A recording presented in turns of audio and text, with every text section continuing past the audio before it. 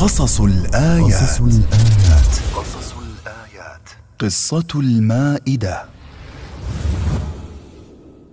أمر عيسى عليه السلام أنصاره من الحواريين بصيام ثلاثين يوما.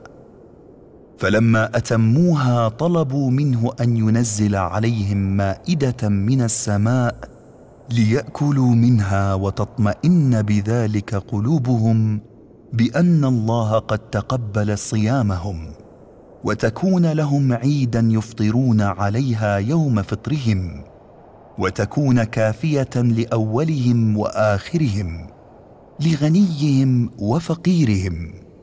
فوعظهم عيسى عليه السلام وخاف عليهم أن لا يقوموا بشكرها ولا يؤدوا حق شروطها. فأبوا عليه إلا أن يسأل لهم ذلك من ربه عز وجل. فلما لم يقلعوا عن ذلك وألحوا في طلبهم وأصروا على سؤالهم قام عيسى عليه السلام إلى مصلاه متضرعا لربه ومولاه سائلا له أن يجيبهم إلى ما طلبوا.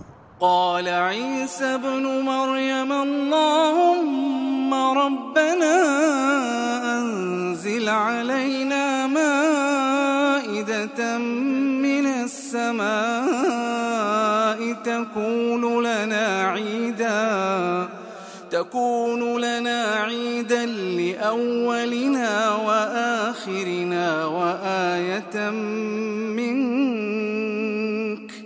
وارزقنا وأنت خير الرازقين.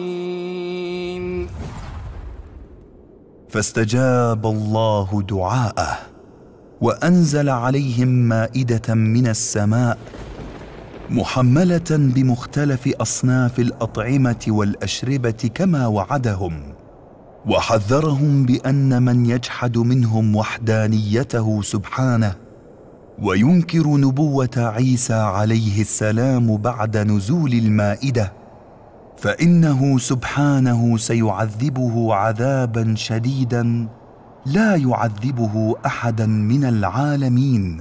قال الله إني منزلها عليكم فمن يكفر بعد منكم اعذب أعذبه عذابا لا أعذبه أحدا من العالمين.